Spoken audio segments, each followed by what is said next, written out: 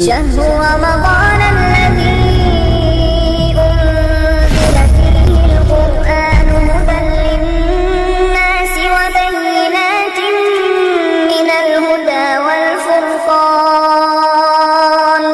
فمن شهد منكم الشهر فليصم.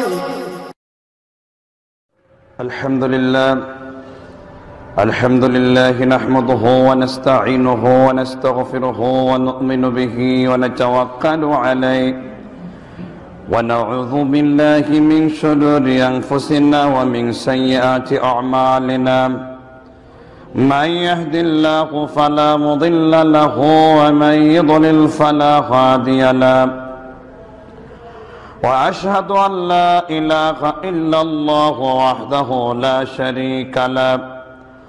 وأشهد أن محمدا عبده ورسوله الذي أرسله بالحق بشيرا ونذيرا وداعيا إلى الله بإذنه وسراجا وقمرا منيرا فقد قال الله تعالى في كلامه المجيد والفرقانه الحميد أعوذ بالله من الشيطان الرجيم.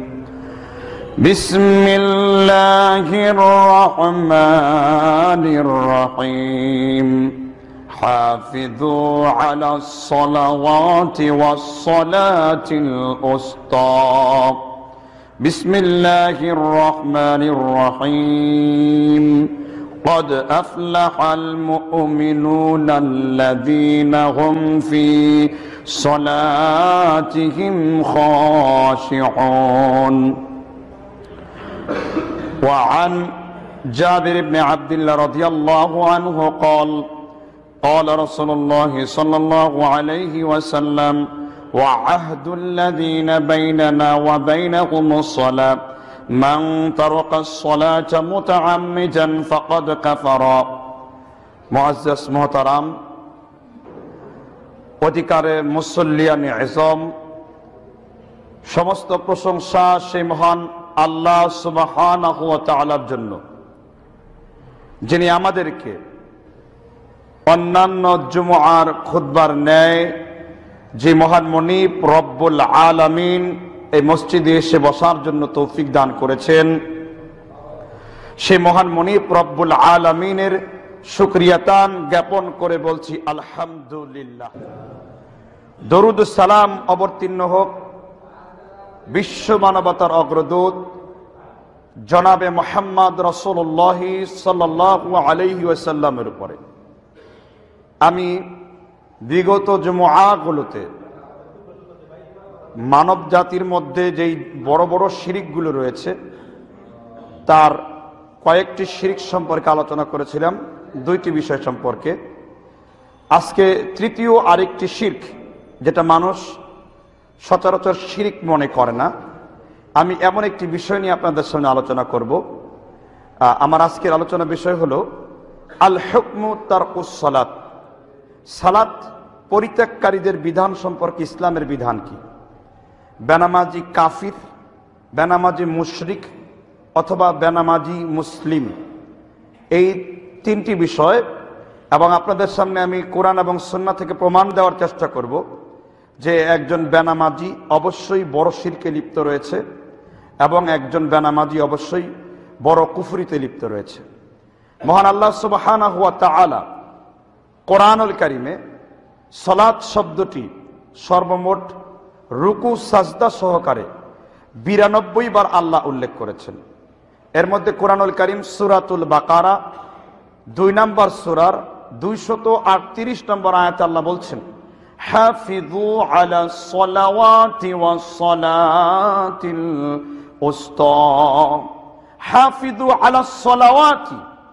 সলাতিল তোমরা পাঁচ ওয়াক্ত সালাতের হেফাজত করো।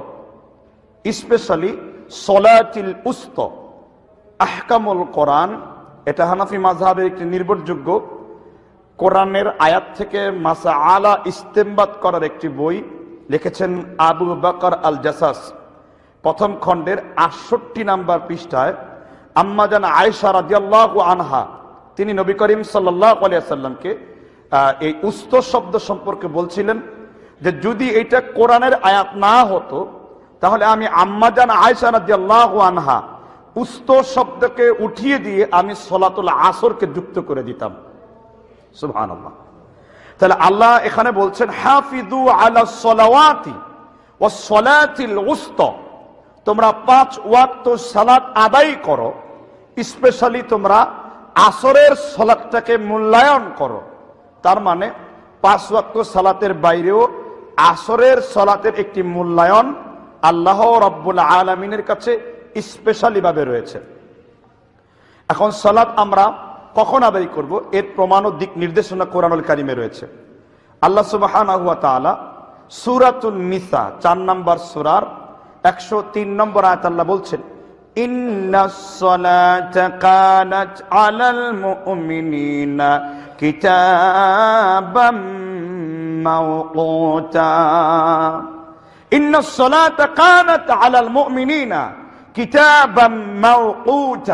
নিঃসন্দেহে, মোমেনগণ যারা ইমান আনায়ন করবে, তারা অবশ্যই সময়ের চাহিদা অনুপাতে বা সময়ের রূপরেখা অনুযায়ী বা সময়ের ওয়াক্তর দিকে খেয়াল রেখে একজন মমিন তিনি সলাদকে কি করবে? আদায় করবে। এখন সলাদ পরিত্যাগকারী ব্যাপারে কোরআনের দিক নির্দেশনা কি রয়েছে? কোরআনুল করিম সুরার রুমের তিরিশ নম্বর আয়াত থেকে আপনি পড়বেন। আল্লাহ তালী স্পষ্ট করে বলেছেন আকিমের সলাতা তোমরা সালাদকে প্রতিষ্ঠিত করো। ওয়ালাতা কোন মিনাল মুশরিকিন অন্যথায় তোমরা মুশরিকদের দলভুক্ত হয়ে যাবে। এই আয়াতটা কোরআনে আল্লাহ রাবুল আলমিন দিয়েছে। তো সালাদ আমরা কয় অক্ত করব। অবশ্যই অবশ্যই আমরা সালাদকে পাঁচ ওয়াক্ত করব। পাঁচ ওয়াক্তের আল্লাহ সতেরো রাখাত সালাদকে ফরজ করেছেন। যেমন অজু করতে গেলে অজুতে আমরা চারটা অঙ্গ ধৌত করি। কেউ যদি ইচ্ছাকৃতভাবে একটি অঙ্গ না ধয়, ধৌত করে, তার অজু সম্পাদন হতে পারে কি? আমরা সাফা মারোয়া সাই করতে যাই। ইচ্ছাকৃতভাবে যদি কেউ সাত চক্করের একটি চক্কর যদি কেউ না খায়, তাহলে তার সাফা মারোয়া সাই তথা সেই রোকনটাকে আদায় হবে কিনা?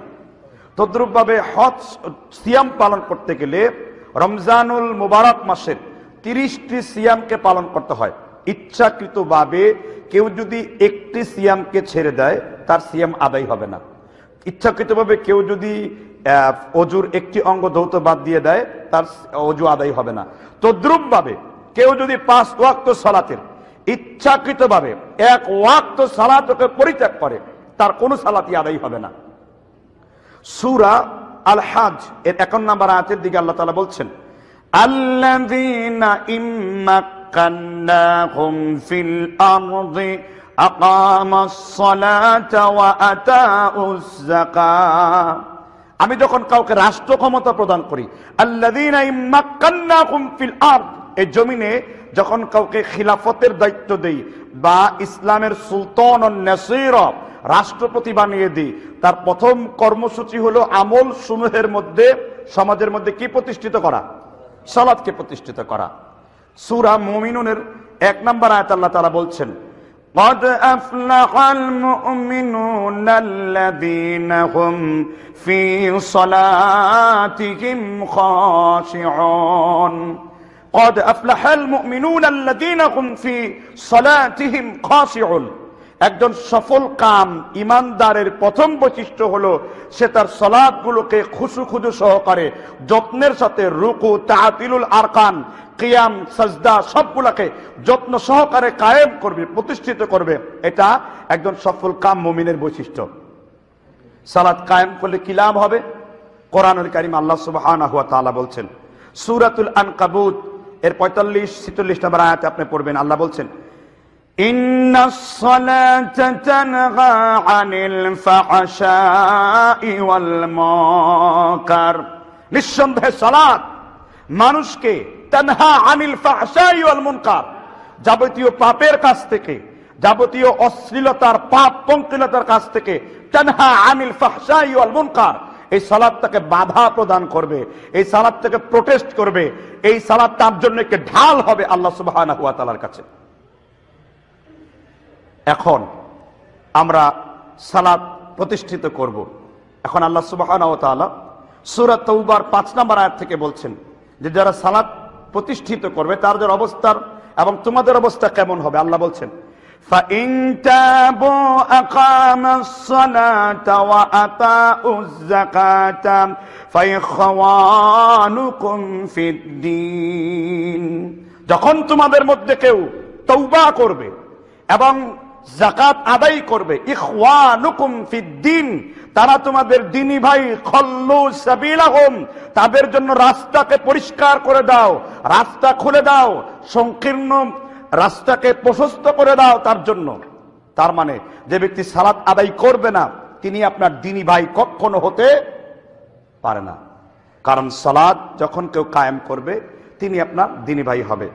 সুরা মুদাস্তিরের মধ্যে আল্লাহ আয়াতে আলোচনা করেছেন জান্নাতি এবং জাহান্নামের মধ্যে দুইটা কাতার হবে। জান্নাতিগণ জাহান্নামীকে জিজ্ঞাসা করবে আনিল মুজরিমিন? হে জাহান্নামী, তোমাদেরকে তোমাদেরকে জাহান্নামী কেন বানানো হলো? এবার জাহান্নামীরা বলবে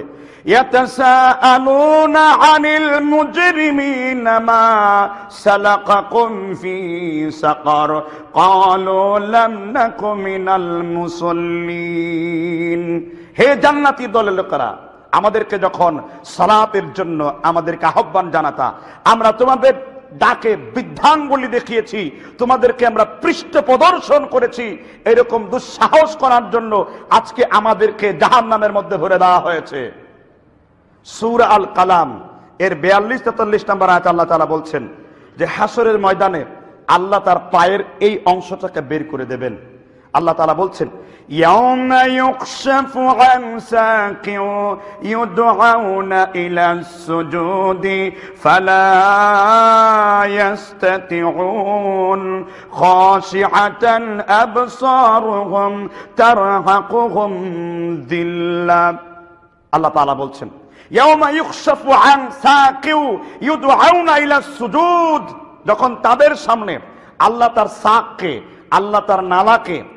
আল্লাহ তার পায়ের জায়গাটাকে বের করে দেবেন।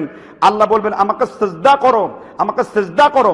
কিন্তু সবাই সেজদা করতে পারবে, কিন্তু যারা কিনা সলাৎ আদায় করতো না বা পাঁচ ওয়াক্ত সালাত পড়তো না, তাদের ব্যাপারে আল্লাহ সুবহানাহু ওয়া তাআলা বলছেন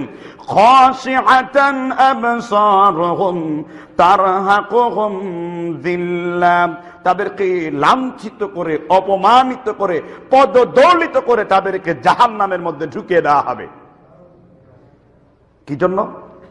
কারণ তাদের কাছে সলাৎ আদায় করার যে গুরুত্ব, এই গুরুত্ব থেকে তারা পিছনে সরে এসেছে। এখন আসুন, নবী মোহাম্মদ সাল্লাহু আলী ওসাল্লাম তার দৃষ্টিভঙ্গি সলাপের প্রতি কি ছিল? এখানে একদল ওলামায় একরামের ব্যাখ্যা হলো সলাপ পরিত্যাগকারী ফাসিক তথা কুফুর দুনা কুফুর ছোট কুফুরিতে লিপ্ত রয়েছে। আরেক দল ওলামায় একরামের ব্যাখ্যা হলো, সলাৎ পরিত্যাগকারী কাফের। আরেক দল ওলামা একরামের ব্যাখ্যা আরও কি বলে এটাকে? আরও একটু স্লো স্লো মোশনে আছে। তো ইমাম আহমেদ ইবনে হাম্বাল রহিমাহুল্লাহ তার, তাকে জিজ্ঞাসা করা হলো, কার মধ্যে যদি সলাৎ পরিত্যাগকারীর বিধান পাওয়া যায়, তাহলে তার ক্ষেত্রে বিধান কি হবে? ইমাম আহমেদ ইবনে হাম্বল বলেছেন যে তার শরীর থেকে রক্ত লুটে নেওয়া বৈধ করেছে ইসলামিক সরকার বা ইসলামিক স্টেট প্রতিষ্ঠিত থাকলে বা আল্লাহর বিধান দিয়ে রাষ্ট্র পরিচালনা হলে তখন ইচ্ছা করলে ইসলামিক সরকার এটা করতে পারে। কারণ সলাৎ পরিত্যাগকারী শাস্তি ইমাম হাম্বলের নিকট, এটা হলো মৃত্যুদণ্ড।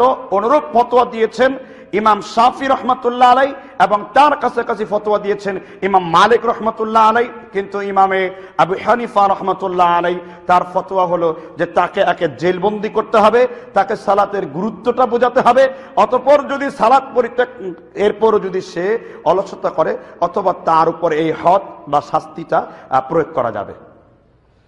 এটা হলো ইসলামিক স্কলারদের একটি মত। এখন আমরা যে কোনো মানুষের মত নেওয়ার আগে সর্বপ্রথম ফিরে যাবে কোথায়? যখন আপনার আমাদের মধ্যে একটা মত, দুইটা মত, তিনটা মত, চারটা মত আসবে, তখন আমরা কোথায় ফিরে যাব?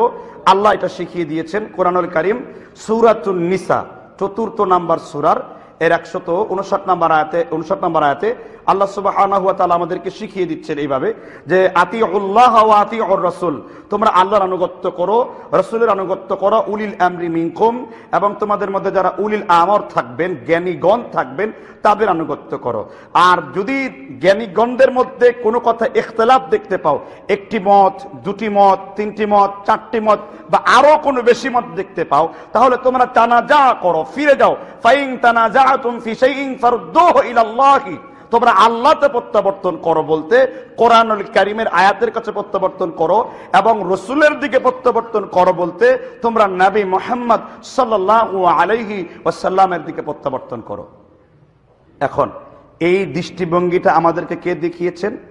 সাহাবা আজমাইন রিদিয়ানুল্লাহ তালা তিন মিজির হাদিস তিন হাজার তেত্রিশ নম্বর মাকতুবাতুস শামেলার রিপোর্ট অনুযায়ী হাদিস নাম্বার নবী মোহাম্মদ সাল্লাহ আলাইসলামের সাহাবিগণ মনে করতেন, বিশিষ্ট তাবে আবদুল্লাহ ইবনে শাকিক রাহিমাহুল্লাহ, তিনি বর্ণনা করেছেন। সাহাবিগণ বলতেন, লা ইয়ারাউনা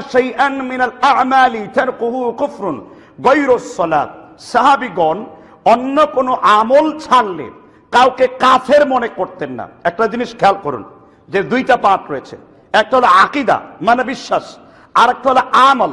আমরা ভালো করে জানি যে আকিদার কোনো একটা বিষয়কে কেউ ইনকার করলে বা এটাকে যদি তাস্তিক বিল জানান, অন্তর দিয়ে স্বীকৃতি, আমল বিল আরকান, কাজ দিয়ে বাস্তবায়ন এবং একরার বিল লিসান, দুই ছুটের স্বীকৃতি যদি কেউ না দেয় তাহলে আমরা জানি সে আকিদাগতভাবে পথভ্রষ্ট। কিন্তু সাহাবিগণ এখানে একটু ডেফিনেটলি অন্য ধরনের কথা বলছেন। তারা বলছেন তার কুহু কুফরুন সালাত। সাহাবিগণ, অন্য কোনো আমল ছেড়ে দিলে কাউকে কাফের মনে করতেন না। কিন্তু সলাদকে ছেড়ে দিলে তাদেরকে কাফের মনে করতেন। এটা কারা মনে করতেন? সাহাবিগণ। সুরাতুন নিসার আয়াত নাম্বার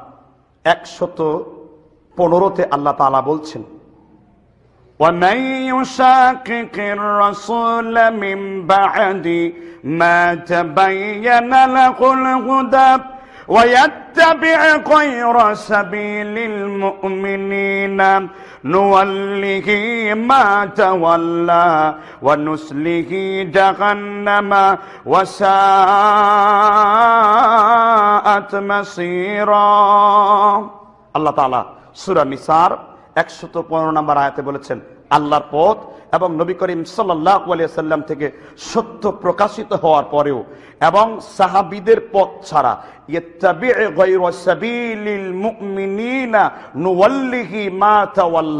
সাহাবিদের পথ ছাড়া অথবা সাহাবীদের অনুকরণ ছাড়া অন্য কোন রাস্তা যদি তোমাদের কাছে পছন্দ হয়, তোমরা সেই পথেও চলতে পারো। ও নুসলিহি জাহান্নামা অসা আত্মাসির এবং তোমাদেরকে ঠেলতে ঠেলতে বা ধাক্কাতে ধাক্কাতে তোমাদেরকে জাহান্নামের মধ্যে নিয়ে নেওয়া হবে। এখন অন্য যে কোনো স্কলারদের মতের আগে আগে সাহাবাদের মত কি ছিল এটা দেখতে হবে। তাহলে সাহাবিদের মত হলো যে বেনামাজি অবশ্যই কি?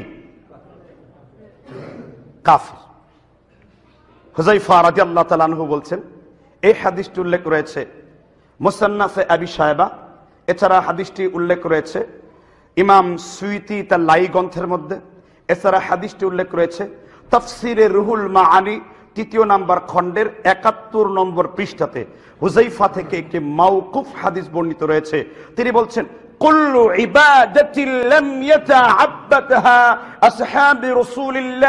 সাল্লাল্লাহু মুসলিমিনা কানা হে সম্মানিত তৌহিদি জাতি, হে সম্মানিত জাতি তোমরা অনুসরণ করো। তোমরা কেবল আমলের ক্ষেত্রে অনুকরণ কত করো সাহাবিদের গণদেরকে। কারণ সাহাবিগণ, মান কানা কবলাকম পূর্ববর্তীর সাহাবিগণ পিছনের লোকদের জন্য কোনো কিছুই বাদ রেখে যাননি। এখন সাহাবিরা বেনামাজিকে কাফের মনে করতেন। কিন্তু আমরা বেনামাজিকে মুসলিম মনে করে থাকি। এই ব্যাপারে শেখ আসালিহ বিন উসাইমিনী, দুইটা কিতাব, তিনি স্বতন্ত্র একটি কিতাব লিখেছেন আল হুকুম তারকুস এবং ফতোয়ায় আরকানুল ইসলামের মধ্যেও, এবং বর্তমানে যে ফিকহুস সুন্নাটা আপনার অনুবাদিত হয়েছে বাংলায় অথবা আরবিতে, সেইখানেও কিন্তু এই ব্যাপারে মত পার্থক্যগুলো করার পরে, দলিলগুলো দেওয়ার পরে কুফুর দুনা কুফুর খণ্ডন করার পরে, সর্বশেষ সৈয়দ সাবেক উসাইমিন রহিমাহল্লা তারা একথা বলে দিয়ে গেছেন যে বেনামাজি অবশ্যই অবশ্যই ছোট কাফের নয়, বরং বড় কাফের। তাহলে এবার নবী করিম সাল্লাহ আলাইসলামের হাদিস সহি বুখারি একশত উনচল্লিশ নম্বর হাদিস রসুল সাল্লাহ আলাইসাল্লাম বলেছেন وعن بريدة رضي الله عنه عن النبي صلى الله عليه وسلم সাহাবীর নাম হলো বুরাইদা তিনি বলেন বর্ণনা করেন নবী করিম সাল্লাল্লাহু আলাইহি ওয়াসাল্লাম বর্ণনা করেছেন কোনটা মান তারাকা সালাতুল আসর কেউ যদি শুধু আসরের সালাতকে ছেড়ে দেয় ফাকাদ হাবিত আমালুহু সে যেন তার আমলগুলাকে নষ্ট করে ফেলল কেউ যদি শুধুমাত্র আসরের সালাতকে ছেড়ে দিল, ফাকাদ হাবিত আমালুহু, সে যেন তার আমলগুলাকে নষ্ট করে দিল। কি, কোন সালাত? কোন সালাত? আসরের সালাত। মানুষের আমল নষ্ট হয় কোন কারণে? শুধু, না, আকিদের ক্ষেত্রে কোন কারণে? শিরিকে লিপ্ত হলে। ওয়ালা ওয়াশরাক তালা আমালুক। নবীগণ, আপনারাও যদি সিরিকে লিপ্ত হন, আপনাদের আমলগুলোকে আমি নষ্ট করে দেব। তার মানে বোঝা যাচ্ছে যে সিরিক করলেও আমল নষ্ট হয়। বোঝা যাচ্ছে সলাদকে পরিত্যাগ করলেও আমল নষ্ট হয়। বুরাইদা থেকে বুখারির এই হাদিসটিতে দ্রষ্টব্য যা প্রমাণ আপনাদের সামনে উপস্থাপন করলাম। কারণ নবী মোহাম্মদ সাল্লাহ সাল্লাম বলেছেন, হাদিস সহি মুসলিম, অধ্যায় বাবে মাং মাচা আলাল কুফর, কেউ যদি কুফরি করে মরে, দুইশত একত্রিশ নম্বর পৃষ্ঠায় রসুল সাল্লাহ সাল্লাম স্পষ্ট বলছেন, বাইনাল আব্দি ওয়াল কুফরি ও শিরকি তারকুস সলাত, আল্লাহর গোলাম আর কাফের আর মুশরিকদের মধ্যে পার্থক্য হলো সলাত, যখন কেউ এটা ছেড়ে দিল, সে কাফের হয়ে গেল, মান তারাকা সলাতা মুতাআম্মিদান ফাকাদ কাফারা, অথবা রাসূল সাল্লাল্লাহু আলাইহি সাল্লাম বলেছেন কেউ যদি সালাতকে ছেড়ে দিল, তাহলে সে কি হয়ে গেল? কিন্তু আমার দেশে সস্তা কিছু ফতোয়া রয়েছে। এটা বেনামাজি বাড়ার আরও একটি কারণ। কারণ বেনামাজি সম্পর্কে আমাদের জঘন্য ভুল এবং তাদেরকে ভুল ফতোয়ার দিকে দিয়ে পরিচালিত করা। এটা বেনামাজি বাড়ার, এটা আরও একটি কারণ। ইসলামিক ফাউন্ডেশন অনুপাতে দুই সালের একটি পরিসংখ্যান বলছে সেখানে বলা আছে যে বাংলাদেশে পাঁচ ওয়াক্ত নামাজির সংখ্যা এক পার্সেন্ট। কয় পার্সেন্ট? আর সহিভাবে সালাত আদায় করা হয়তো আপনার ক্যালকুলেশনই উঠবে না। রুকু, সাজদা, সল্লু কেনা রাআইতুমুনি উসাল্লি, এটা তো শূন্য শূন্য, মাইনাস জিরো ডিগ্রি সেলসিয়াস থেকে সেলসিয়াস থেকে নিচের দিকে নেমে যাবে, আরও নিম্নের দিকে চলে যাবে এটা। তাহলে এবার বলুন কেন এই সমস্ত পেটুক জিব্বাদারি মিলাদদারি, জিলাপি খোর দরবারি এই সমস্ত আলেমদের ফতোয়ার কারণেই বেনামাজি সমাজের মধ্যে বেড়ে গেছে। যেহেতু রসুল বলে গেছেন, ফামান তারকাহা ফাকাদ কাফার। যে ব্যক্তি সলাদকে ছেড়ে দিল, সে কাফের হয়ে গেল। আপনি কোন ইঞ্জিনিয়ার আপনার কাছে কোন হি এসেছে? কে আপনাকে খবর দিল যে ফামান ইনকারহা ফাকাদ কাফার? নবীর যদি ইনকারহা শব্দ মানে অস্বীকার করা শব্দ ব্যবহার না চলে, আপনার কি জন্য চলে সেটা? আপনি সেটা লিগেলিটি পেলেন থেকে কার কাছ থেকে এই ব্যাখ্যা শিখেছেন আপনি? দলিল দিতে হবে আপনাকে। কথা কি বুঝতে পারছেন তো? জি, তাহলে বেনামাজি পাকা কাফের। এবার আসেন।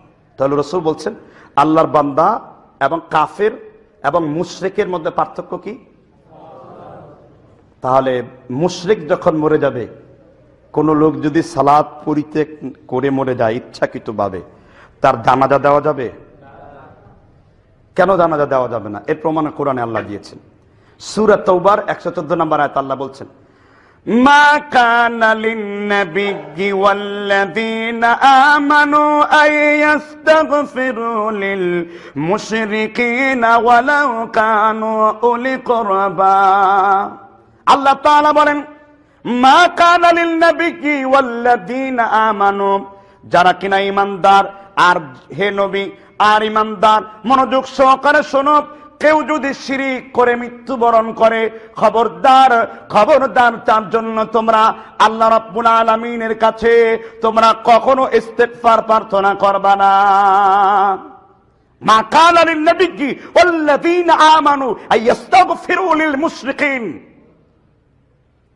যখন তোমাদের মধ্যে কেউ শিরিক করে, মৃত্যুবরণ করে, তার জন্য দোয়া করবা না। আরে বেনামাজির মৃত্যুতে তো ইন্না নিল্লে পড়াই ঠিক না। বলবেন, ফি নারি জাহান্নামা তুমি চিরকাল জাহান্নামের আগুনের ভিতরে দাও দাও করে চলে অথচ সমাজ তাদেরকে মুসলিম বলে সার্টিফিকেট দিচ্ছে। এগুলো হলো আহলুল মুরজিয়া, এরা মুরজিয়া ফেরকার লোক। মুরজিয়াদের ধারণা হলো, মান কলা ইলাহা ইল্লাল্লাহ দাখল আল জান্না কেউ লা ইলাহা ইল্লাল্লাহ পড়লে জান্নাতে চলে যাবে। এরা হলো আহলুল মুরজিয়াদের আকিদা। বর্তমানেও কিছু নতুন নতুন সাজে, নতুন মোড়কে, নতুন রং মেখে, ঢং সেজে কিছু আধুনিক মুরজি আছেন। আমরা সালাদ আদায় না করলে কি হবে? আমাদের ইমান বে ঠিক আছে। আমাদের ইমান তো ঠিকই আছে। না, রসুলের কাছে ঠিক নেই। তোমার কাছে ঠিক হয় কি করে? এবার মুসলিম শরীফের হাদিস, দুইশো সাতানব্বই, বুলুগুল মারাম মিন আদিল্লাতিল হাকাম হাফেজ ইমাম ইবনে হাজার আসকালানি সাতশো তিপ্পান্ন নম্বর হাদিস নবী করিম বলেন, মুরু সপ্তম বছরে তোমার ছেলে পদার্পণ করেছে, তাকে মসজিদের মধ্যে গমন করো। অদ্রিবিহুম আলাইহি আশারে সিনিন। দশ বছর হয়েছে, পিটিয়ে সালাত আদায় করো। বাইনাল মাদাজি। এবং বিছানাকে আলাদা করে দাও। তাহলে কি বুঝলাম? ছোট্ট সোনামণিকে আদর নয়, দশ বছর হয়েছে, তাকে পিটিয়ে সালাপ আদায় করো। বারো বছর হয়েছে সালাপ আদায় করো না। ইসলামী রাষ্ট্রপতির কাছে বিচার দাও গড্ডানটা উড়িয়ে নেবে তো অবশ্যই তা। একজন লোক আসলেন, রাসুল সাল্লাহ আলাইসলামের কাছে। মুসনাদ আহমদের বারো হাজার চুয়াত্তর নম্বর হাদিস। সে বলছে, ইয়া মোহাম্মদ, ইত্তাকুল্লাহ।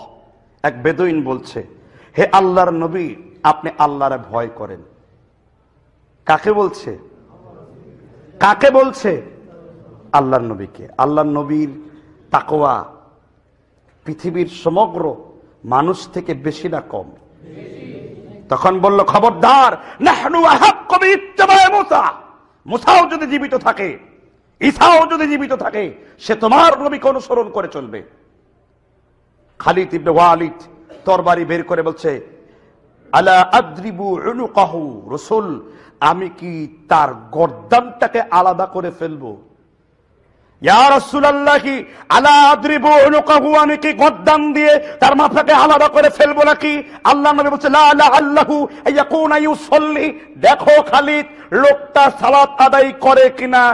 সালাত আদায় না করে, এর গর্দানটা গৈর মুসফা, সাথে সাথে উড়িয়ে দাও। কি বুঝলেন? হাদিসটু পেশ করলাম মুসনাদ আহমেদের। বেনামাজি থাকলে তার এইরকম শাস্তি শরিয়ার মধ্যে রয়েছে। বেনামাজির জানাজা আপনারা কখনো আদায় করবেন না। আমি চাই এই মসজিদে বেনামাজি জানাজা না হোক। কারণ বেনামাজি মুসলিম নয়। এখন অনেকে একটা প্রশ্ন করে। বড় কঠিন প্রশ্ন। যে কেউ যদি চার ওয়াক্ত সালাত আদায় করে আর কেউ যদি একেবারেই করে না, পার্থক্য কি? পার্থক্য হলো, কেউ জোহর, আসর, মাগরিব এসা পড়ল, সে কাফের। জোহর, আসর, মাগরিব এসা পড়ল, সে কি? কাফের। আর যে একেবারেই পড়ল না, সেও কি? তাহলে পার্থক্য কি? যে জোহর, আসর, মাগরিব এসা পড়ল অজু করল, শীতের রাত্রিতে পরিশ্রম করল, সে হলো পারিশ্রমিক কাফের। আর যে একেবারেই পড়ল না, সে বিনা পরিশ্রমিক কাফের। এই হলো দুই কাফের মধ্যে পার্থক্য। যে ফজর পড়ল, জোহর পড়ল, আসর পড়ল, মাগরিব পড়ল এসা পড়ল, ফাসহাবু বিল ইমান তার ইমানের ব্যাপারে সাক্ষ্য দিয়ে দাও। আল্লাহর ঘর মসজিদ তার ইমানের ব্যাপারে সার্টিফাই করে দিয়েছে। সতেরো রাকাত যে সালাত আদায় করেছে, তোমরা তার ইমানের ব্যাপারে সাক্ষ্য দিয়ে দাও। সতেরো রাকাত। আর যে এরকম করল, জোহর পড়ল, আসর পড়ল, মাগরিব পড়ল এসা পড়ল, সে পরিশ্রমী কাফের। আর যে পড়লই না, বিনা পরিশ্রমী কাফের। এ হলো দুই কাফের মধ্যে কি? পার্থক্য। বেনামাজি বাড়ার আরেকটা ফতোয়া। উমরি কাজা। উমরি কাজার ফতোয়া আস্তাক ফেরুল্লাহ অমর, এমনকি সলমান ফার্সি, বহু জমহুর সাহাবা, তারা অনেক দেরিতে ইসলাম গ্রহণ করেছেন। কই, একদিনে তো তারা হ্যাঁ সলাতের কাজা আদায় হবে। সলাতের কাজা আদায় হবে। কিন্তু সালাতের আবার উমরি কাজা কিসের? এখন তার জন্য কি করতে হবে? তৌবা করতে হবে। বেশি বেশি নফল সলাপ তাহাজুতের সালাত আদায় করতে হবে চাষতের সালাত আদায় করতে হবে। এবং দখলুল মসজিদের সালাত আদায় করতে হবে। এবং তারাবিহ সহ যেগুলো নফল সালাত রয়েছে, এগুলো আদায় করতে হবে। কিন্তু উমরি কাজা আদায় করার বিধান তো সারিয়া থেকে প্রমাণে থাকতে হবে। আসলে সারিয়ায় এর কোনো সঠিক প্রমাণ নেই, উমরি কাজার। একটা লোক চল্লিশ বছর সালাত আদায় করছে না। এখন তাকে সালাত আদায় করতে গেলে তাকে বলা হলো, তোমার তো বিরাট বড় ওই উনচল্লিশ বা বারো বছর থেকে এই পর্যন্ত অনেক কাজ আর সালাত বাকি আছে, এখন তোমার এটা পড়তে হবে। সে বলল, আর নামাজই আমার দরকার নাই। অবশেষে এই লোকটা কুফরি অবস্থায় আল্লাহর সাথে মিলিত হলো। তাহলে এর জন্য দায়ী কারা? ফতোয়াবাজরা, ফতোয়াবাজের গিরুতে যারা আছে তারা। যদি তাকে সহজ করে দিত যখন কেউ গুনাহা থেকে তৌবা করে, আল্লাহ তাকে জন্মভূমি শিশুর মতো পবিত্র করে দেন। মেসকাত, হাদিস হল নয় শত চুয়ান্ন নাম্বার। নবী মোহাম্মদ সাল্লাম সহি মুসলিমের বারোশো চুরাশি নাম্বার একটি বর্ণনাতে বলছেন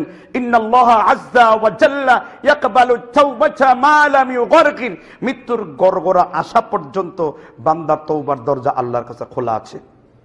সূরা নূরের 31 নম্বর আল্লাহ তাআলা বলছেন, তুবু ইলাল্লাহি জামিআন, আইয়ুহাল মুমিনুনা লাআল্লাকুম তুফলিহুন। হে দুনিয়ার ঈমানদারগণ, তোমরা সকলেই মিলে আল্লাহতে প্রত্যাবর্তন করো, আল্লাহর কাছে ফিরে যাও মানে তওবা করো, তাহলে তোমরা সফল কাম হতে পারবে। ইন্নাল্লাযীনা ফাতানুল মুমিনিনা ওয়াল মুমিনাতি সুম্মা লাম ইয়াতুবু ফালাহুম আযাবু জাহান্নাম ওয়া লাহুম আযাবুল হারিক। যে সমস্ত মুমিনদেরকে, যে মুমিন মুসলিমদের উপর জুলুম করেছে, অতপর তারা তৌবা করতে পারেনি। অবশ্যই তাদেরকে জাহান নামের অগ্নিদগ্ধ যে মজা তাকে আস্বাদন করতে হবে।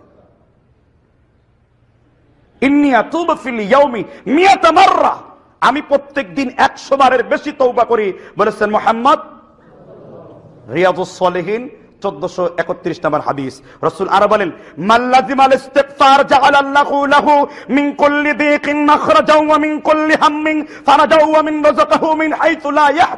তোমরা বেশি বেশি করে তওবা করো। তওবা করলে তোমাদের অন্তরের সংকীর্ণতা আল্লাহ দূর করে দেবেন। তওবা করলে তোমাদেরকে আল্লাহ এমন এমন জায়গা থেকে রিস্কের ফয়সালা করবেন যা তুমি কল্পনাও করতে পারবা না।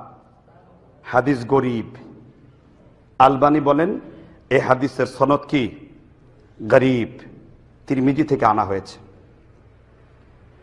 সুতরাং তৌবা করতে হবে। এটা বেনামাজি বাড়ার এই সমাজের আরও একটি কি? উল্লেখযোগ্য কারণ। বেনামাজি বাড়ার আরেকটি কারণ হলো সালাদ পরিত্যাগকারী মানে মানুষের মধ্যে আরেকটা কারণ হলো, আপনার কেউ যদি সালাদ পরিত্যাগ করে এখন তার ব্যাপারে আমাদের দেশে ফতোয়া চালু আছে। কীরকম ফতোয়া? যে যে কয়েক তো পড়তে পারল না, ওই কয়েক তো টাকা মসজিদের ইমামকে দিয়ে দিলে তার সালাত মাফ হয়ে যাবে। মানে সিদ্ধ হয়ে যাবে। সিদ্ধ হয়ে যাবে, বৈধ হয়ে যাবে, আপনাকে টাকা দিলে, যেমন ইহুদিরা তাদেরকে টাকা পয়সা দিয়ে তার হাতের মধ্যে তারা বাইবেলের কথা লিখে, ওই যে দেখছ, তোমার জন্য জাহান নামের আজাব মাফ হয়ে গেছে। তদ্রুপ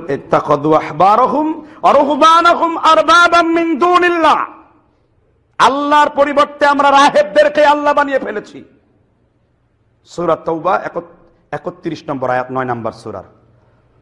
সুতরাং সম্মানিত উপস্থিতি, এটা বেনামাজি বাড়ার আরও একটি কি? কারণ। এখন সাহাবিদের মধ্যে সর্বশ্রেষ্ঠ সাহাবিকে তারপর কে? অমর রাজিল্লাহকে বেনামাজির ব্যাপারে জিজ্ঞাসা করা হলো। তে বেনামাজির হুকুম কি? সোনানে বাই হাকির পঁচিশশো সাতাশ পঁচিশশত আঠাশ এবং পঁচিশশত উনত্রিশ তিনটা হাদিসে পর- পরম্পরা ফতোয়া দেওয়া আছে। প্রথম ফতোয়া দিয়েছেন অমর রাজিয়াল্লাহ তালানহ তিনি বলছেন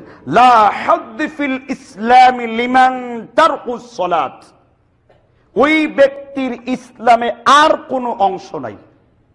লা হাদ্দি ফিল ইসলামি লিমান তারকুস সলাত। ওই ব্যক্তির ইসলামে আর কোনো অংশ নেই। লা হাদ্দি ফিল ইসলামি লিমান তারকুস সলাত।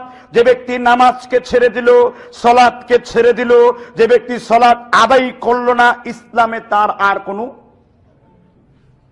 বলেছেন অমর ইবনুল খত্তাব রাদিয়াল্লাহ আনহু। এবার আলী রাজি আল্লাহ আনহু, রসুল সাল্লামের চাচাতো ভাই প্লাস নবী মোহাম্মদ সাল্লাহ আসলামের কি? জামাতা। তিনি বলছেন কাফির। যে ব্যক্তি সালাদকে ছেড়ে দিল, সে কাফের হয়ে গেল। কে বলছেন? বলেন, কে বলছেন? আলী রাজাল্লাহ বলছেন। আপনার কি সন্দেহ লাগছে? তাহলে আমাদের দেশে এদেরকে মুসলিম কেন বলা হচ্ছে? আপনি বলুন। এই জন্য আল্লাহ তালা বলছেন ইন্নামাল মুশরিকুনা নাজাস। যারা মুশরিক তারা নাপাক। খবরদার খবরদার। তোমার মেয়েদেরকে, মুশরিকদের কাছে তুলে দিও না। খবরদার খবরদার। মুমিন ছেলেরা মুশরিক মেয়েদেরকে বিয়ে করো না। কারণ মুশরিকরা নাপাক। খবরদার, নামাজি, বেনামাজিকে বিয়ে করো না। বেনামাজি, বেনামাজিকে বিয়ে করবে। কাফের, কাফেরকে বিয়ে করবে। মুশরিক, মুশরিকাকে বিয়ে করবে। মুমিন, মুমিনাকে বিয়ে করবে। তৌবাকারী, তৌবাকারীকে বিয়ে করবে। সলাৎ আদায়কারী, সলাৎ আদায়কারিনীকে বিয়ে করবে। এটাই কোরআনের বর্ণিত আয়াতের নীতি। সুতরাং একশো কোটি টাকা খরচ করে বিয়ে করতে পারেন। দুই হাজার কোটি দেন মোহর ধার্য করে বিয়ে করতে পারেন। কিন্তু আপনি সালাদ পড়বেন না। আল্লাহর কসম কাজী আপনার বিয়ে কার্যকর করতে পারে। সমাজ আপনার বিয়ে কার্যকর করতে পারে। গরুর গুস্ত খেয়ে সার্জারি করে আপনি মুসলিম হয়ে যেতে পারেন। পাসপোর্টে মোহাম্মদ লেখে, নির্বাচনী পোস্টারে আহম্মদ মোহাম্মদ লেখে মুসলমান হয়ে যেতে পারেন। সালাত আপনি পড়বেন না। লা ইসলামী লিমান তারকুস সালাহ ইসলামের গণ্ডিতে আপনার কোন অবস্থান নাই। পরিষ্কার কথা। কিন্তু সমাজ তাদেরকে মুসলিম বলছে। বলুন পকেটের মধ্যেই আছে গোখরা সাপ আর বাঘের বই আপনি সুন্দরবন জঙ্গলে ঢুকেন না। আপনার ঘরেই বড় বড় কাফের বসে আছে।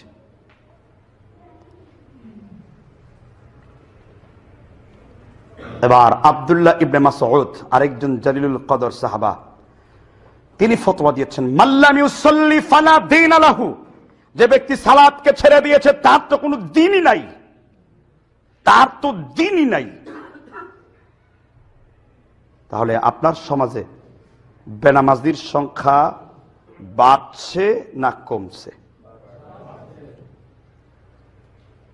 এর কারণ হলো বেনামাজির সম্পর্কে শক্ত ফতোয়া না থাকার কারণে এটা হয়েছে সমাজে। এবার আরেকটি কথা, বেনামাজির হাসর কার সাথে হবে? ফেরাউনের সাথে। সবাই জানি না এই কথা? এখন ফেরাউনকে আল্লাহ কয় দিনের জন্য জাহান্নামি দিবেন?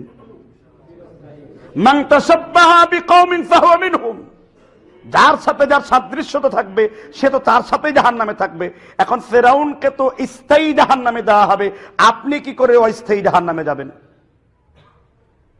বলুন, আপনি কীভাবে অস্থায়ী জাহান নামে যাবেন? কয়, এই ফতোয়াগুলোর মধ্যে একটু বাড়াবাড়ি আছে। আপনাদের বেহেস্তের সার্টিফিকেট তো আমিও দিতে চাই। বলতে পারি ওই সমস্ত আলমদের মতো হ্যাঁ জীবনে এক, দুই অক্ত নামাজ পড়েছেন আপনিও মুসলিম। খালাস। না, শরিয়া আপনাকে এটা ফয়সালা দেয়নি, আমি কীভাবে আপনাকে এই ফয়সালা দিব? তাহলে এখন থেকে আসুন, আমরা আমাদের সন্তান সন্ততিকে কয়ক্ত সালা পড়াবো। কয়ক্ত সালা পড়াবো, পাঁচ ওয়াক্ত সালা পড়াবো। প্রত্যেকদিন শীতের রাত্রে কষ্ট করে মসজিদে উজু করে আসেন না? নবী মোহাম্মদ সাল্লাহ আলিয়া সাল্লাম বলেন আহসানুল ওদুয়া তুম্মা আতাল মাসাজিদ। কেউ যদি উত্তম রূপে উজু করে মসজিদের দিকে ফজরের সালাতের সময় গমন করে, ফাহুয়া জাইরুল্লাহ, স্বয়ং আল্লাহ ওই ব্যক্তির সাথে সাক্ষাৎ করে ফেলবেন হাদিস উল্লেখ করেছে মুজমা উজায়েদ তিন হাজার চুরানব্বই নাম্বার হাদিস। কে সাক্ষাৎ করবেন? আল্লাহ। এশার সালাত পড়েছেন। এশার সালাত পড়ে জিকির করতে করতে ঘুমিয়ে গেছেন। রসুল সাল্লাহ সাল্লাম বলেছেন মামিন মুসলিমিন ইয়াবিতু আলা দিকরিন তাহিরান ফায়াতআরু মিনাল লাইলি ফায়াসআলুল্লাহ খায়রাম মিনাদ দুনিয়া ওয়াল আখিরা।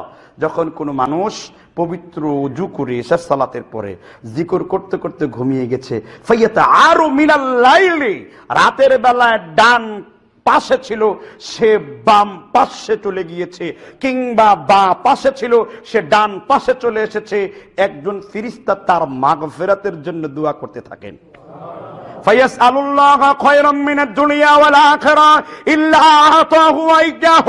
এই বান্দা যখন ঘুম ভেঙে জেগে উঠে, নবী মুহাম্মদ ওয়াসাল্লাম বলেন, তুমি যা দোয়া চাইবে, তুমি যা দোয়া চাইবে, আল্লাহ সেই দোয়া কবুল করে নেবেন। এই রকম ফজিলত থেকে আমরা বঞ্চিত হয়ে যাচ্ছি। শুধুমাত্র কিসের কারণে? এজন্য যার সালাত নাই, তার দিন নাই। ইমাদুদ্দিন।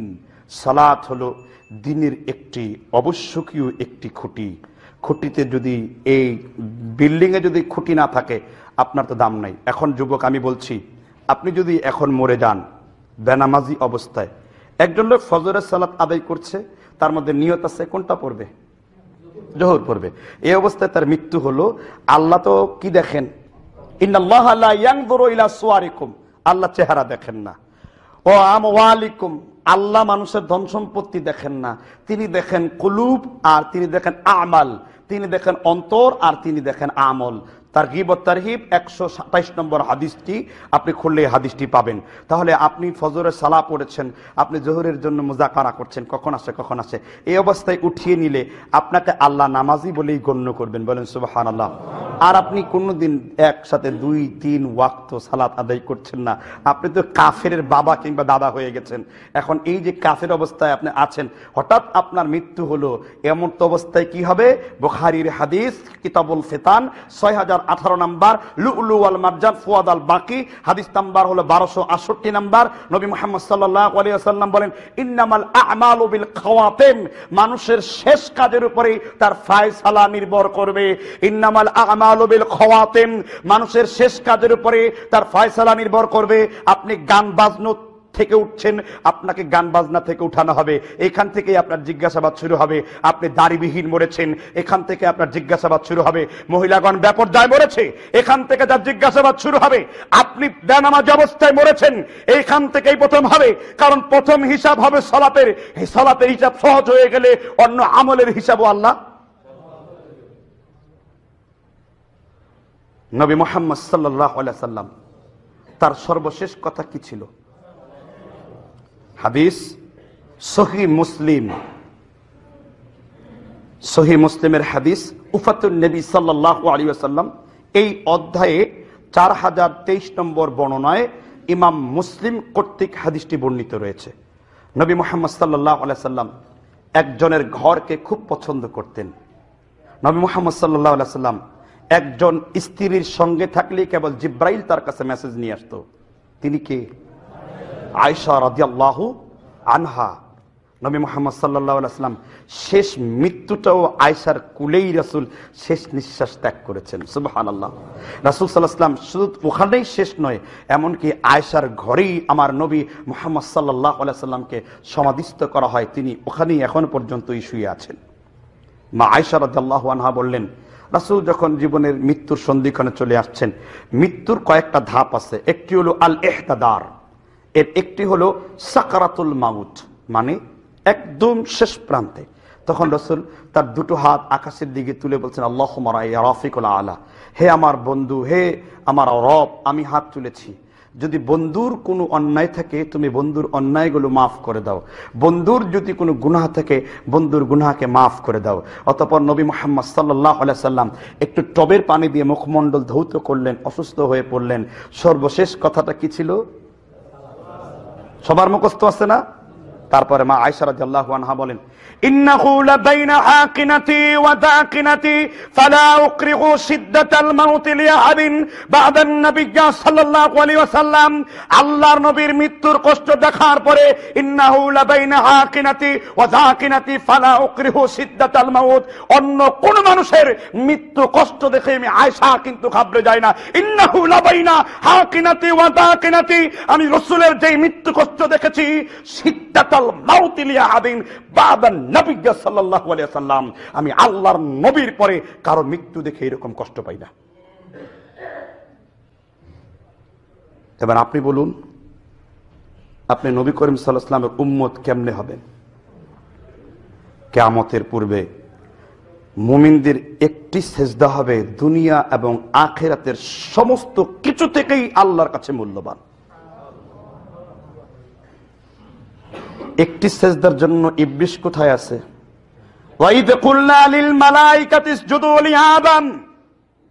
সেজদা করো আদমকে। ফাসাজাদু ইল্লা ইবলিস। সবাই করল, কিন্তু কি করল না? ইবলিস যদি একটি সেজদা ত্যাগ করে ইবলিস হতে পারে, তুমি কোন, কয় নাম্বারের মুসলমান? মুসলিম, তুমি হাজার হাজার, শত শত, লক্ষ লক্ষ সেজদা কাদা করেছ। তুমি তো ইবলিশের দাদা তার থেকেও বড় কিছু তুমি। তুমি কি, তোমাকে মুসলিম বলে কে? কোন জাতি তোমাকে মুসলিম বলে? অথচ সালাত আদায় করার ফজিলত কত? ওমর ফারুক, ওমর ইবনুল খত্তাব সিফাতুস সালাতের নবী লিখেছেন শেখ নসির উদ্দিন আলবানী রাহিমাহুল্লাহ। এই বইটি, আর সালাত আজকে কাঙ্ক্ষিত মানের কেন হচ্ছে না? এজন্যই হচ্ছে না। কারণ দুই রকাত দুই রাকাত সালাত আদায় করতে গিয়ে পঞ্চাশ প্রকার পার্থক্য আছে, যেটা নবী মোহাম্মদ সাল্লাহ ও আলী আসাল্লামের সহি হাদিসের সাথে পার্থক্য। পত্রিকার নাম দিচ্ছে মদিনা। মাদ্রাসার নাম দিচ্ছে মাদ্রাসাতুল মদিনা। মার্কাজের নাম দিচ্ছে মার্কাজুল মদিনা। তারপরে আপনার, কি বলে, এ দেশের মসজিদ বাইতুল মোকাররম জন্মের পর থেকে আজ পর্যন্ত দুই রাকাত নামাজ, সাল্লু কামারো আইতুমনি উসল্লি। এই রসুল সাল্লাহ আসলামের পদ্ধতিতে তারা সালাত আদায় করতে পারেনি। এটা কি আফসোসের বিষয় নয়? ঠিক আছে, আমরা আহনাফে অনুসরণ করি। আমি তাদেরকে অবশ্যই অবশ্যই কটাক্ষ করে বলব না। কিন্তু তাদের মসজিদগুলোতে গিয়েও আপনি দেখবেন যে তাদিলুল আরকান নাই। সালাতে দাঁড়ায়, দাঁড়ানো ঠিক নাই। বসে মোরগের মতো ঠোকর, বানরের মতো এদিক ওদিক তাকানো, কুকুরের মতো হাত পা বিছিয়ে ইমাম আহমেদ ইবনে হাম্বল ওই বছর, আজ থেকে প্রায় দেড় দেড় হাজারের পরে, বারোশো, তেরোশো বছর আগে তিনি একশো মসজিদ ঘুরে বললেন, কোথাও দেখি নবী মোহাম্মদ সাল্লাহ আলাইসলামের সলাপ নাই।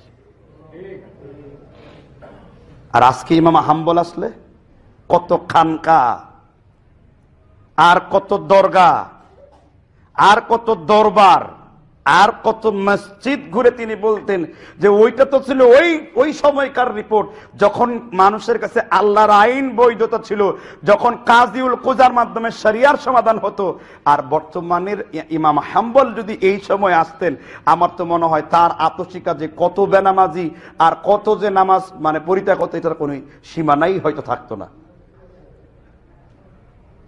এজন্য সালাত আদায় কীভাবে করতে হবে? সল্লু কামা রাইতুমুনি উসল্লি।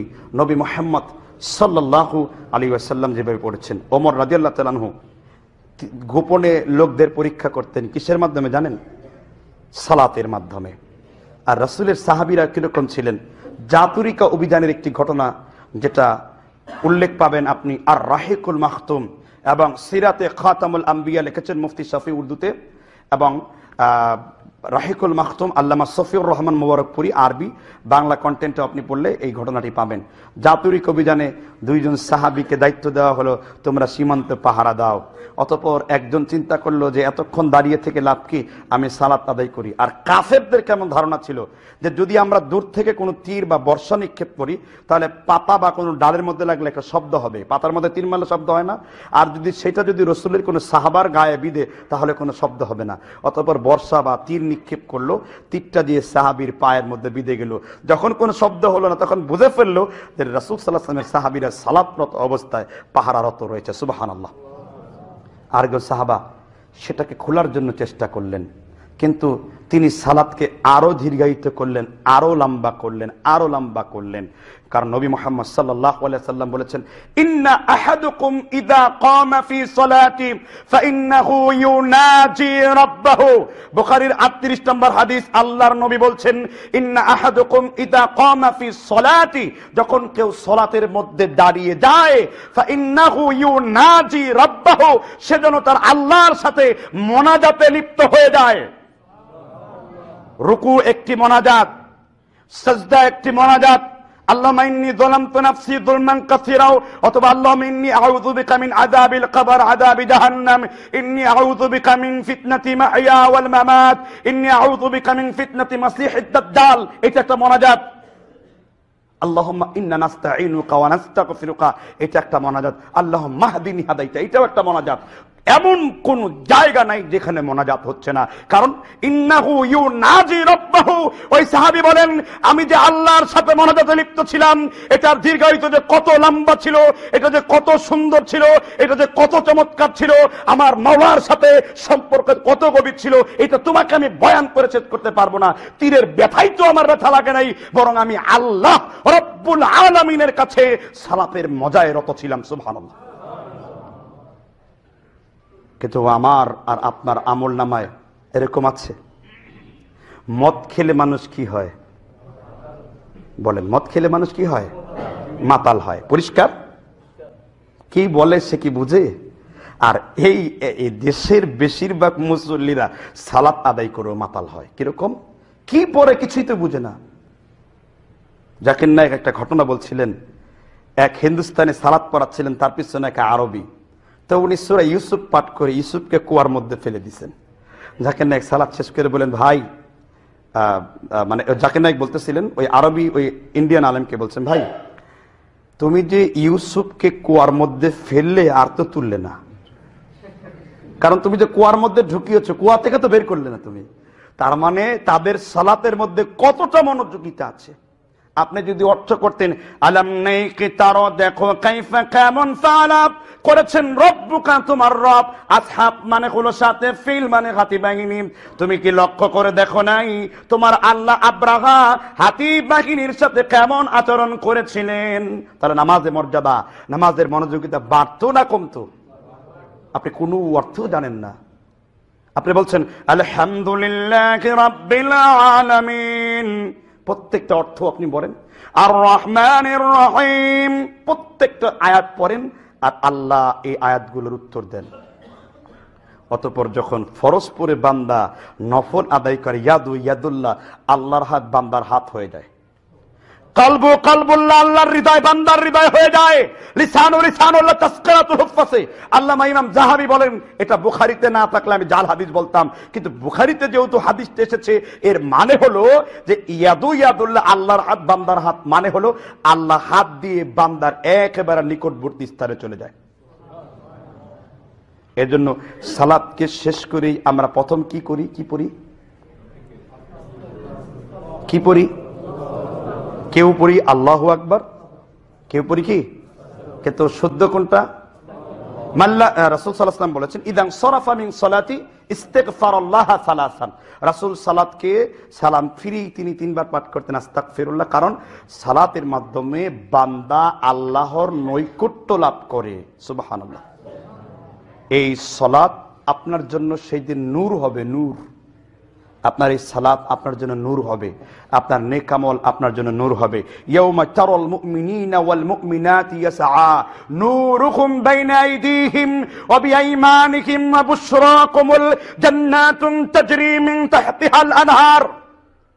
নূর হিসেবে দৌড়াতে শুরু করবে। কারণ ওরটা বিদ্যুতের গতিতে, কারণ ওরটা ঘোড়ার গতিতে, কারণ ওরটা অল্প গতিতে। যার নূর থাকবে না, সে সেদিন দৌড়াতেই পারবে না।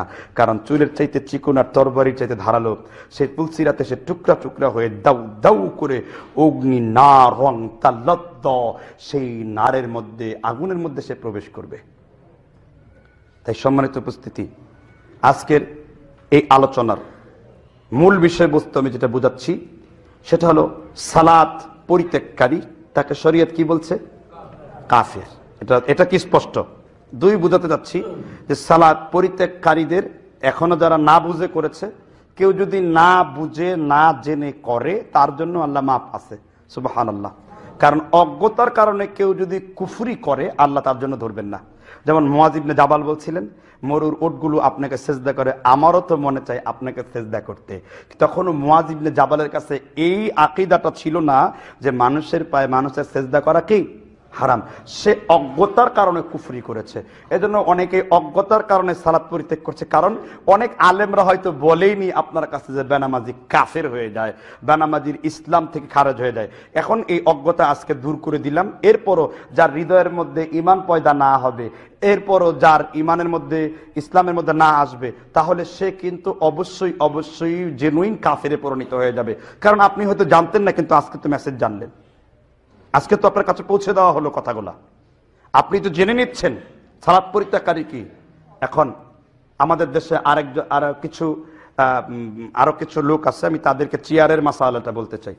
অনেকেই দৌড়াতে পারে, ফিল্ডে ঘুরতে পারে, সব কিছু করতে পারে, মসজিদে এসে চেয়ারের মধ্যে ঠাস করে বসে নামাজটা শুরু করে। এটার বিধান কি? হাদিস হলো রাসুসাল্লাম লাঠিতে ভর দিয়ে সালাত আদায় করতেন। এটার উপর ইকবাল কিলানির হাফিজাহুল্লাহ তাআলা, তিনি বলছেন যে এটার উপরে ইস্তিহাদ হয়েছে বা এটার উপরে মানে কেয়াস হয়েছে যে রাসুসাল্লাম লাঠিতে ভর দিয়ে সালাত আদায় করতেন অসুস্থতার জন্য এই জন্য চেয়ারের মধ্যে আমরা বসে সালাত আদায় করি। কথা বুঝতে পেরেছেন কিনা? এছাড়া স্পষ্ট এরকম ছিল না। এখন সে কি করবে? প্রথমে দাঁড়িয়ে পড়ার চেষ্টা করবে। দাঁড়িয়ে না পারলে সে কোথায় যাবে? সে অন্তত জমিনে বসবে। যদি জমিনেও না বসে থাকতে পারে, তখন যদি সে চেয়ারের মধ্যে বসে, সে মাজুর বলে গণ্য হবে। আর আল্লাহ মাজুরকে মাফ করে দেবেন। কারণ আল্লাহ বলছেন ওয়ালাইফুল্লাহ নাফসান ইল্লা উসাহা বান্দার সাধ্যের বাইরে আল্লাহ কোনো কিছুকেই চাপিয়ে দেন না। নব্বই মন বস্তা আপনাকে চাপিয়ে দেওয়া যায়। কিন্তু লা ইকরাহা দিনের মধ্যে কোনো কিছু চাপাচাপি নেই। দিনকে সহজ করে দেওয়া হয়েছে। আল্লাহ দিন ইসলামকে সহজ করে দিয়েছেন। এজন্য আপনারা দৌড়াতে পারেন, বিচার করতে পারেন, বিভিন্ন জায়গায় খেলাধুলা দেখতে যেতে পারেন। কিন্তু সালাত পড়তে গেলে আপনি এমন মাজুর হন, এই ওজোর কিন্তু আল্লাহ আপনাকে জিজ্ঞেস করবেন। কারণ সালাতের একটি ফরজের একটি গুরুত্বপূর্ণ ফরজ হলো সালাতের মধ্যে কিয়াম করা। সালাতের মধ্যে কি? দাঁড়া, দাঁড়ানো দাঁড়ানো দাঁড়ানো। এখন কেউ যদি এটা ইচ্ছাকৃতভাবে এরকমটি করে, তাহলে আল্লাহর দরবারে কিন্তু জবাবদিহিতা আছে। আল্লাহ সত্যই দেখবেন আপনার মাজায় ব্যথা আছে কিনা। অথচ ওমর অথচ ওমর ফারুক রাজিউল্লাহ তালানহু তাকে যখন বর্ষা দিয়ে আঘাত করা হলো, তিনি কিন্তু জ্ঞান ফেরার পরে তিনি আর নিজের কথা জিজ্ঞাসা করে নাই। তিনি বললেন, আমার পিছনে যে সালাদটা ছেড়ে দিয়েছ, তোমরা কি ওটা আদায় করে নিয়েছিলে? তিনি নিজের কথা জিজ্ঞাসা করেন নাই। এদিক দিয়ে রক্তাক্ত করে তার শরীর থেকে রক্ত বের করে দেওয়া হয়েছে। তিনি উঠেই জিজ্ঞেস করলেন, তোমরা যে আমার পিছনে সালাতরত ছিলে, তুমি কি, তোমরা কি সালাত আদায় করছিলে? এটা ছিল সাহাবিদের তাকওয়া। অথচ আমরা আজানের জবাব দেই না। আসলে আজানের প্রতি অক্ষরে অক্ষরে জবাব দেওয়াটা এটা মুস্তাহাব। ইমাম বুখারির মতে আজানের জবাব হলো অজু করে মসজিদের জামাতে আপনি সামিল হয়েছেন, এটা হলো আজানের মূল জবাব। কে বলছেন? ইমাম বুখারি রহমতুল্লাহ আলাই আছে আপনাদের এরকম জবাব? আশা করি এই আলোচনাটা আপনাদের জন্য, যদি আপনারা ধারণ করতে পারেন, এটা আপনাদের জন্য মাইল ফলক হবে। এই আলোচনাটা আপনারা আজকে এই কন্টেন্টটা নিলেন, আজকের এই খোদবা থেকে যে সালাদ পরিত্যাগকারী কিন্তু শিরকে লিপ্ত আছে। কি পরিষ্কার কিনা? এখন এরপরও যদি আপনারা সন্তানগুলাকে কনসেপ্ট করেন, বেনামাজি থাকা অবস্থায়, আর তাহলে আপনাকে হয় একটা কাজ করতে হবে। হয় খাঁটি হিন্দু হতে হবে, আর নয় খাঁটি মুসলিম হতে হবে। খাটে মুসলিম হলে নামাজ ছাড়া যাবে না, আর খাঁটি হিন্দু হলে নামাজ রোজা কিছুই করা লাগবে না। কারণ কাফের কোনো হিসাব নেই, সে তো এমনিতে জাহান্নামী। বুঝতে পেরেছেন কিনা? যদি আপনার সন্তানের পবিত্রতা চান আপনি, তাহলে অবশ্যই সালাত আদায় করুন। কয়েকটা সালাত আদায় করব। কেউ যদি সুন্নত নামাজগুলো নাও পড়ে, আমি বলছি না যে পড়বেন না, আমি বলছি না ছেড়ে দেবেন। কোনো কারণে যদি তার মিস হয়ে যায়, ফজরের সুন্নত, জহরের সুন্নত, আসরের মাগরিবের সুন্নত বা এশার সুন্নত, নবী মোহাম্মদ সাল্লাহ আলাইসাল্লাম এই বারো রাকাতের সুন্নতের ব্যাপারে বলেছেন, কেউ এটা হেফাজত করলে জান্নাতে তার জন্য একটি ঘর নির্মাণ আল্লাহ করে দেবেন। কিন্তু কোনো কারণে কেউ যদি এগুলো ছুটে ছুটে যায়, তাহলে কিন্তু আপনার কি হবে না? এটা ফরজ তরকের গুণা হবে না। অন্তত কমচে কম জামাতে পড়তে পারেন নাই, একাকি একাকি পড়তে পারেন নাই নিজের গৃহে, অবশ্যই আপনি সালাত আদায় করতে হবে। তবুও ইসলামের সীমানার মধ্যে আপনি থাকবেন। তবে আরেকটি ফতোয়া হলো যে, ইচ্ছাকৃতভাবে অলসতা অলসতা করে কাজা আদায়কারীকেও আবদুল্লাহ বিন বাস তাকে বেনামাজির মধ্যে সামিল করেছেন। ইচ্ছাকৃতভাবে। মানে রেগুলার অভ্যাস অভ্যাস। যে না, আছে শীতের এত কষ্ট অজু কীভাবে করব? না, চালিয়ে দিচ্ছে এরকম। এরকম হলে সে বেনামাজির মধ্যেই গণ্য হবে। কেননা সালাতের খুশু খুজু যে বলেছিলাম, এই খুশু খুজু তার মধ্যে নেই। তাই যা হোক সম্মানিত উপস্থিতি, আজকের এই খোদবা থেকে আমরা যেটা শিখলাম, আমরা আমাদের জীবদ্দশাতে আমরা যেন সালাতের গুরুত্ব সহকারে এবং এই শিরিক থেকে যেন আমরা পবিত্র থাকতে পারি। আমিন। ওয়াখের দাওয়ানা আনিল হামদুলিল্লাহি রব্বিল্লা আলমী